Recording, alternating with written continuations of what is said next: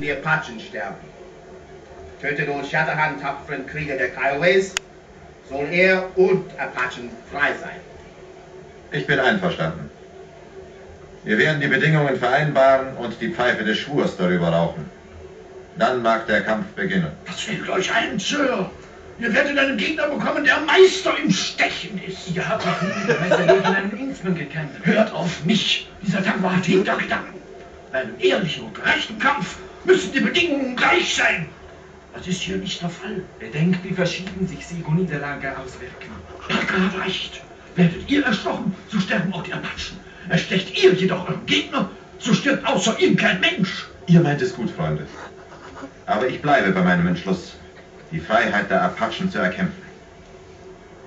Der Kampfplatz war bestimmt in den Boden mit dem Stiel eines Tomahawks eine große Acht gezeichnet, worin sich die Gegner bewegen durften.